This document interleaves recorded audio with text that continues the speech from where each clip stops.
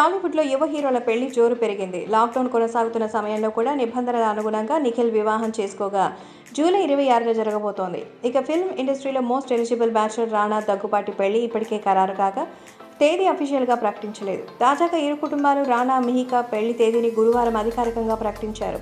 పెళ్ళి వేదిక తేదీ ఎప్పుడంతే రాణా దగ్గుపాటి డిజైనర్ మహికా బజాజ్ మధ్య చాలా ఏళ్ళుగా పరిచయం ఉంది. వెంకటేష్ కూతురు అశ్రితలకు మిహికాకు క్లాస్మేట్ అనే సంగతి తెలిసిందే. అలా మిహికాతో రాణా జరిగిన పరిచయంతో ప్రేమగా మారింది.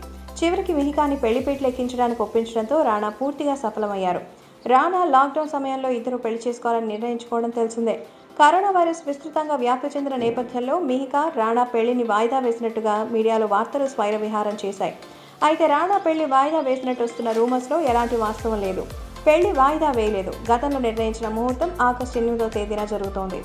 ఇప్పటికే పెళ్ళి కావాల్సిన ఏర్పాట్లు జరుగుతున్నాయని చెప్పారు. పెళ్ళికి సంబంధించిన వివాహక పత్రికను అద్భుతంగా డిజైన్ చేశారు. పౌరాణికం థీమ్గా రూపొందించడంతో విశేషంగా ఆకట్టుకుంటోంది. కృష్ణుడు రుక్మిణులతో పాటు చిత్రంలోని సన్నివేశాన్ని తీసుకుని సూపర్గా డిజైన్ చేశారు. ఇప్పుడు ఇది సోషల్ మీడియాలో హాట్ టాపిక్గా మారింది. రాణా మిహికా పెళ్ళికి సంబంధించిన వివరాలను ఇరు కుటుంబ సభ్యులు వెల్లడించారు. వేదిక సమయం రిసెప్షన్ లాంటి వివరాలను చెప్పారు. ఆగస్టు ఎనిమిదవ తేదీ మధ్యాహ్నం రెండు గంటలకు చైతన్య ఎన్క్లేవ్ కూడా మణికొండ హైదరాబాద్లో జరుగుతుందని వెల్లడించారు.